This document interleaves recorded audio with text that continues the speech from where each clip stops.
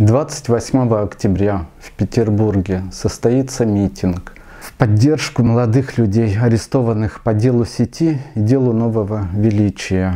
Оба эти дела инициированы сотрудниками ФСБ.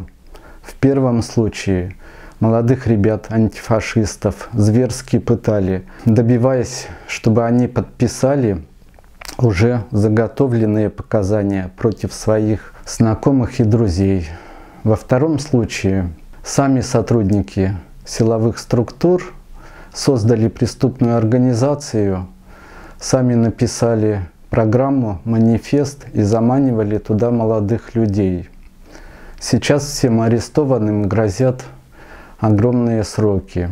От имени всех родителей, фигурантов дела сети и дела нового величия я призываю проявить свою гражданскую позицию, выйти на митинг в защиту наших и ваших детей. Да, сейчас даже просто выйти на митинг стало опасно. Стало опасно говорить и даже думать. Но еще опаснее не сопротивляться этому. Подумайте о своих детях. Приходите на митинг 28 октября за наших и ваших детей.